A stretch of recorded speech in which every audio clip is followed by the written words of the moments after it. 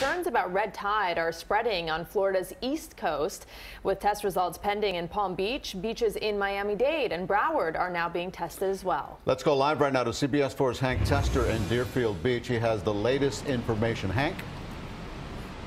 Well, Deerfield Beach was tested the other day. They're going to get results tomorrow, but right now, you talk to residents here, they feel something. There's something in the air. Let's take a look.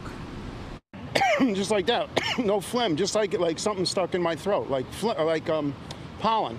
Actually, the past few days, I have noticed cough and scratchy throat. Mm-hmm. Sneezing a little too. People spending the day along the shore in Deerfield Beach finding irritants in the air, causing hacking and coughing. We can definitely notice uh, today there's uh, my eyes are burning and the throat's burning a little bit. It's obviously not maybe as bad as some of the guys up north are, but uh, we definitely can feel it. If you're here any amount of time, you start gagging and coughing and stuff.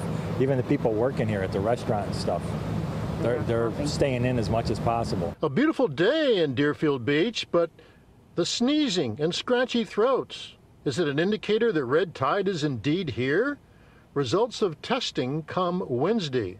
Dr. Bill Louda is a biochemist at Florida Atlantic University. He tells us red tide contains a toxin that affects the nerves. And you start to feel tingling in the nose, some, breathing funny, then go away because how it gets in the air is wave action. It gets aerosolized, thrown into the air, and then you're breathing the particles. Red tide is already confirmed in Palm Beach County in low to medium concentration. And we've learned our partners from the Miami Herald have confirmed that officials are testing beaches throughout Miami-Dade and Broward County. Better to be safe than sorry. Okay, if you feel funny, worried about it, go until everything is really cleared.